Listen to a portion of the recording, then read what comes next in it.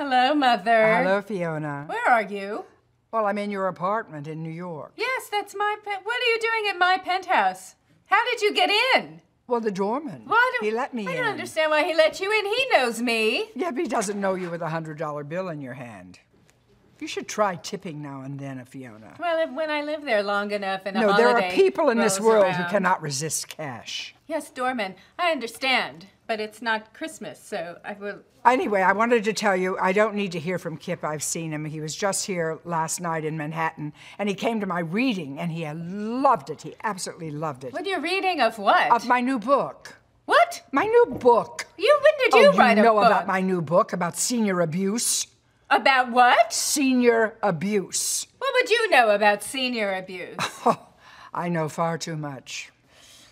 It was hard to, to write. I had to really suffer through it. I had to do a lot of a lot of digging and revealing of my inner experience, and it's not easy, Fiona. yeah, what is your experience? My experience has been dreadfully painful. And I must say, the emotional trauma is something that I, I pray no other mother has to suffer. no other mother. And um, I'm tossing around a few titles. Mm-hmm. I'd like to know your thoughts. Um, Don't hit me in the face, Fiona. I'm your mother. What? No.